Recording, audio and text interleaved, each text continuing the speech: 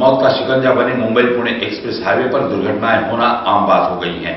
सोमवार की रात भी इस हाईवे पर एक भयानक हादसा हुआ, जिसमें सामान से लदा एक टेंपो धू धू कर जल गया।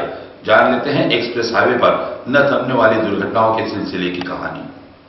मुंबई पुणे एक्सप्रेस हाईवे कब किसे निगल लेगा, बताना मुश्किल है, क्योंकि इस एक्सप्रेस हाईवे पर दुर्घटनाएँ होना आम बात हो गई हैं। पिछले कुछ सालों में ऐसा एक भी दिन नहीं गुजरा होगा कि जब इस हाईवे पर दुर्घटना होने की खबर न आई हो, सोमवार की रात को भी इस हाईवे पर भयानक हादसा हुआ, जिसमें सामान से लदा टेंपो धू धू के जल गया।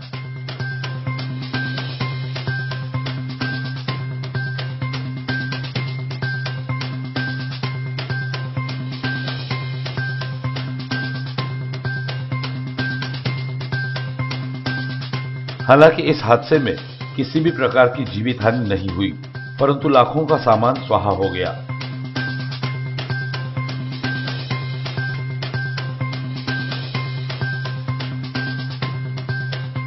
सोमवार की रात बोरघाट में हुई यह दुर्घटना, किस कारण हुई इसका अभी पता नहीं चल पाया है, परंतु हो सकता है कि शॉर्ट सर्किट से ही आग लगी हो।